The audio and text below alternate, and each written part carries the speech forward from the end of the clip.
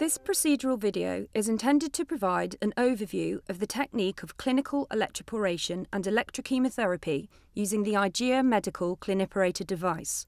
It is not intended to replace formal training sessions, which can be facilitated by IGEA Medical on request.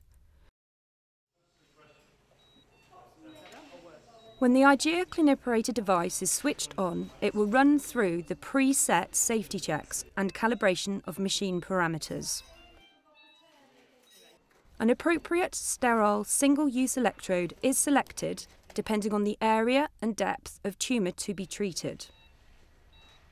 Patient details are entered via a simple touch screen function and any relevant additional notes may be added. The packaging barcode is scanned in order to automatically upload machine parameters for the specific electrode selected.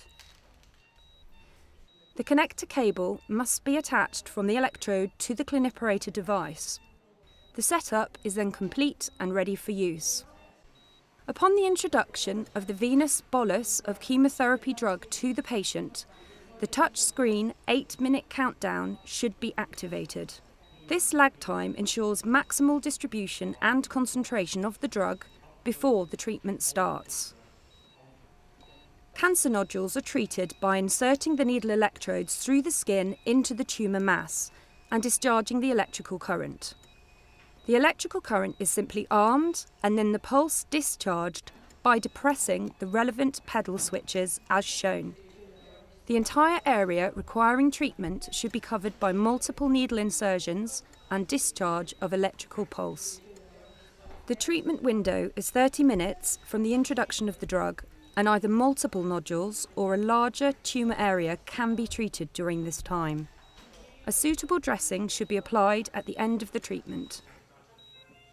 Once the treatment is complete, the machine is powered down and the device logged out via the touchscreen button.